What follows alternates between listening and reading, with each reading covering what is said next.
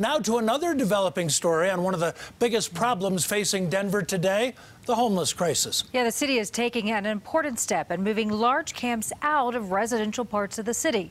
The camps are a common sight in central Denver, and some have been there for months. The city does conduct sweeps, but the camps pop up somewhere else.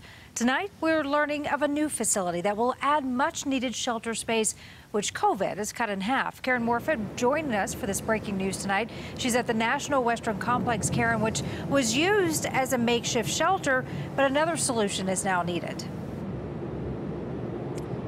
Yeah, Karen, the shelter here at the National Western Complex was always a temporary fix. You can see on the sign out front now it says the shelter here is closed. This new proposal is to address the pandemic that they don't know right now how long it might last. And they're thinking about the upcoming winter. The city is now hoping to open something more long term. While the homeless population in Denver has grown significantly for years, the coronavirus brought the issue to the forefront of community issues. We saw a tremendous blow to our sheltering capacity.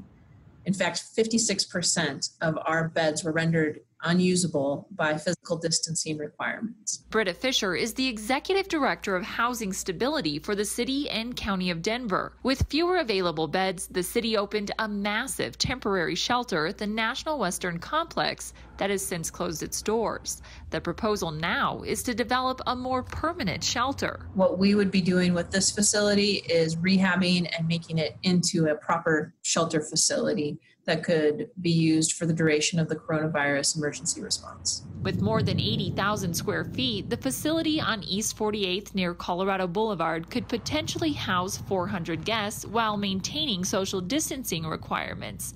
And it would be next door to other homeless resources. Fisher says a new shelter could help address a need that is continuing to grow. More people who have impacted incomes and maybe no income and are thrust into a housing crisis.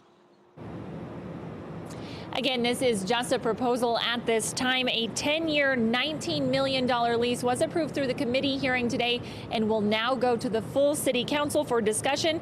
Fisher says the first year they plan to use federal CARES Act funds as well as FEMA money to help offset the cost. In Denver, Karen Morfitt covering Colorado First.